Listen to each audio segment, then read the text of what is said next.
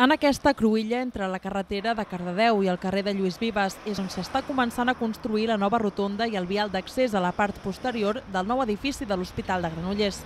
Aquest dilluns han començat ja les tasques prèvies. De la futura rotonda en sortirà el nou vial en sentit nord. En una primera fase arribarà fins al pàrquing de darrere del nou edifici hospitalari que s'està construint. En una segona s'allargarà fins al carrer del Terme, al barri de Bellavista. El nou carrer tindrà dos carrils de circulació amb doble sentit i voreres a tots dos costats. Es crearà una nova xarxa de clavegaram a la zona, modificant el col·lector existent al carrer Francesc Ribes. També es projecta una nova xarxa d'enllumenat amb tecnologia LED i una xarxa de rec a la zona enjardinada de la rotonda i dels arbres que es plantaran en el nou vial, tot plegat amb un pressupost de prop d'un milió d'euros.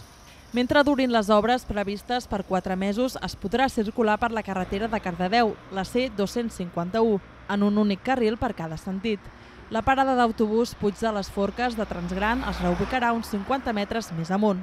Com que les obres comportaran la renovació del tram final del carrer de Lluís Vives per connectar-lo amb la nova rotonda, aquest quedarà tallat en els encreuaments entre el carrer de l'Olivar i la carretera de Cardedeu, sense accés ni sortida a la C251 l'accés als quals no es veurà afectat, excepte en moments puntuals que l'Ajuntament diu comunicarà als veïns.